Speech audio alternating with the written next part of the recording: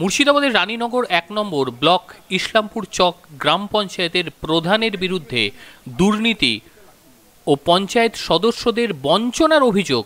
আজ অভিযোগপত্র জমা দেওয়া হলো রানীনগর এক নম্বর ব্লক সমষ্টি উন্নয়ন আধিকারিক ও ডোমকল মহকুমা শাসকের কাছে। তাদের অভিযোগ হচ্ছে, গত দশ মাস থেকে পঞ্চায়েতের কোনো সভায় তাদের ডাকা হয়নি, কোনো নোটিশ দেওয়া হয়নি। পঞ্চায়েতের সমস্ত ফান্ডের টাকা অবৈধভাবে খরচ করা হচ্ছে। সঙ্গে তারা তছরূপেরও অভিযোগ তোলেন। কি বক্তব্য তাদের? কি তাদের অভিযোগ? চলুন শুনে নি রাকিবুল ইসলাম বাবুর report, NTV, WB. Islampur Chattogram পঞ্চায়েতের একজন মেম্বার বিগত দশ মাস থেকে পঞ্চায়েতে মিটিং হচ্ছে, কিন্তু আমাদেরকে পঞ্চায়েতে ডাকা হয়নি। পঞ্চায়েতে এমন অনেক কাজ হয়, যেগুলো আমাদেরকে না জানিয়েই হয়। কত কোন ফান্ডে কত টাকা আছে কীভাবে খরচ হচ্ছে কোনো কিছুই জানাই না। তো সেটার জন্য আজ এখানে এসেছি। কোথায় এসছে? এসডিও অফিসে এসডিও সাহেবকে জানাব। আজ প্রধান কি? প্রধান সাহেবা জানাব। নাম বলুন।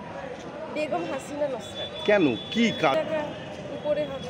তাহলে আপনারা কেন এই পথ কিন্তু কোনো রকম কোনো কিছুই জানায় না সেই জন্য। আজকে মহকুমা শাসকের অফিসে? আজকে এসডি অফিসে কেন এসেছেন? এই সমস্যাটার জন্যই আমরা এসেছি যদি আমাদেরকে লিখিত কি অভিযোগ জানালেন? কি কি দুর্নীতি এই জানালেন যে এটাই যে আমাদেরকে পঞ্চায়েতে কেন ডাকা হয় না আপনারা কতজন মিলে এটা করছেন? আমরা এখানে একজন এখন আটজন উপস্থিত আছি। এখনও আজ তারা সবাই আসতে পারেনি। সবার আপনার পঞ্চায়েতে কতজন মেম্বার?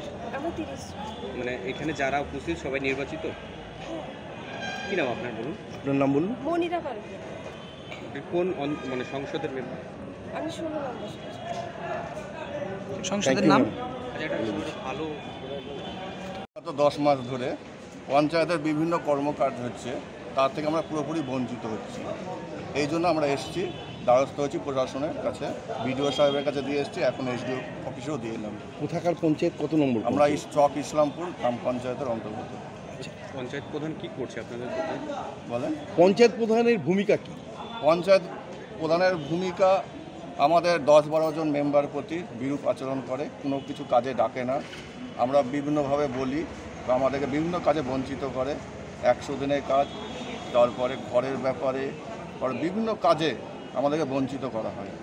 আচ্ছা ওনার নাম কি প্রধানের ওনার নাম বেগম হাসিনা নসরত উনি আমাদের পার্শ্ববর্তী সংসদের বাসিন্দা। ওনাকে বিভিন্নভাবে আমরা বলেছি আমাদের কোনো কথাই আমাদের কর্ণপাত করেনি। এবং উল্টে আমাদেরকে বিভিন্নভাবে প্রশাসনিক ইয়ের ব্যাপারে মানে আমাদের ভয় দেখানো হয়। এরকম কতজন মেম্বার বঞ্চিত আছে? এখন আমরা এসেছি আটজনা আমাদের সঙ্গে আরও আছে চোদ্দ পনেরো জন আছেন। তারাও হয়তো বিভিন্ন কাজে ব্যস্ততার জন্য আজ আসতে পারেননি। আপনাদের উপরেই এটা কেন করেছে? কোনো কোনো রাজনৈতিক ষড়যন্ত্র রয়েছে বলে মনে হচ্ছে? না আমরা এখন সবই এক দল আমরা শাসক দলের অন্তর্গত।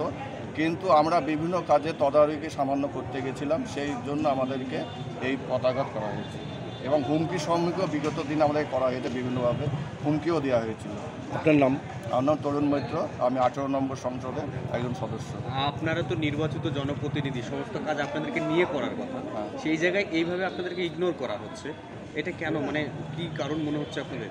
আমরা হয়তো পঞ্চায়েতের ভিতরে কিছু হচ্ছে না হচ্ছে আমরা স্বচ্ছতা আনতে গেছিলাম। আমরা মমতা ব্যানার্জির আদর্শ চলি। মমতা ব্যানার্জি যে আমাদের উন্নয়নের কাণ্ডারি এবং আমাদের গ্রামে যার উন্নয়ন হয়, সেইটার জন্য স্বচ্ছতা আনার জন্য, স্বচ্ছ ভাবমূর্তি পঞ্চায়েত করার জন্য আমরা এই পথ বেছে নিয়েছিলাম।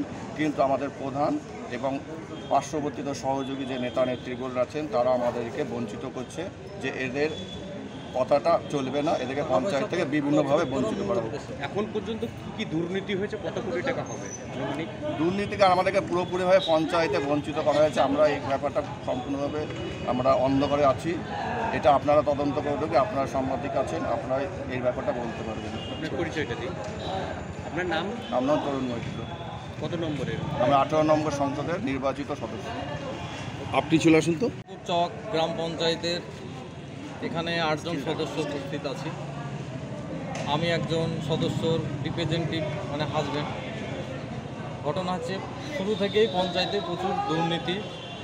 সেই দুর্নীতি আমরা মেনে নিতে পারিনি এবং আমরা তার প্রতিবাদ করায় আমরা কয়েকজন মেম্বার বেশ কয়েকজন মেম্বারকে বঞ্চিত করা হয়েছে এবং আমাদেরকে পুরোপুরি অন্ধকারে রেখে নিয়ম বহির্ভূতভাবে টাকা পয়সা খরচ করা হচ্ছে এবং টাকা পয়সা তছরূপ করা হচ্ছে।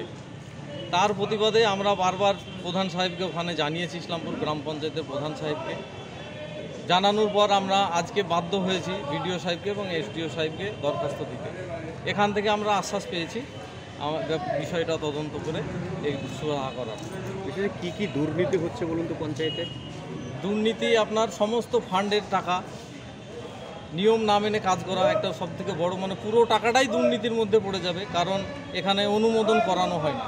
গ্রাম পঞ্চায়েতে যে সাধারণ সভাটাকে যে কর- কাজকর্ম অনুমোদন করানো হয় সেটা অনুমোদন করানো হয় না। টেন্ডার টেন্ডার প্রসেসে প্রচুর দুর্নীতি আছে এবং জেনারেল ফান্ডের প্রচুর দুর্নীতি আছে। আপনার যখন সরকার সার্কুলার লকডাউনে কোভিড নাইন্টিনের জন্য লকডাউনের মধ্যে যখন কিছু পারচেস করতে বারণ করা হয়েছিল সেই অবস্থা সেই কালীনও আমাদের পঞ্চায়েত কিছু পারচেস করেছে যেটা একদমই নিয়ম বহির্ভূত দুর্নীতির পরিমাণ আর্থিক কিরাম হতে পারে? এক কোটি টাকার উপরে যাবে। আচ্ছা ইয়ে এটা কি শুধুই প্রধানের উপর আপনারা বলছেন? প্রধানের প্রধান তো একা পারবে না তার বোর্ড আছে। এখন কীভাবে করেছে সেটা বিডিও সাহেব এসডিও সাহেব তদন্ত করে দেখবেন সেটা আমাদেরকে আশ্বাস দিয়েছেন। আমরাও সেই অপেক্ষায় থাকব যাতে আমরা এর সুফল হয় এবং পঞ্চায়েত সুষ্ঠু পঞ্চায়েত নির্ভুল পঞ্চায়েত চলে। আপনারা কি চাইছেন? তাহলে কি চাইছেন প্রধানের অনাস্থা না কি চাইছেন? না আমরা অনাস্থার জন্য আসেনি। আমরা চাইছি যে দুর্নীতিমুক্ত পঞ্চায়েত চলুক মমতা ব্যানার্জির আমরা সব একই দলেরই সদস্য যারা ইসলামপুর গ্রাম পঞ্চায়েতে তিরিশ জন সদস্য আছি। আমাদের একটাই বক্তব্য দুর্নীতিমুক্ত পঞ্চায়েত চলবে। প্রধানের নাম কি ও কত নম্বর সংসদে বেগম হাসিনা নুসরাত সংসদ নম্বর দুই। আপনার পরিচয়টা দিন। আপনার আমার নাম? সেলিম রেজা। আমি ইসলামপুর গ্রাম পঞ্চায়েতের এক্স উপপ্রধান এবং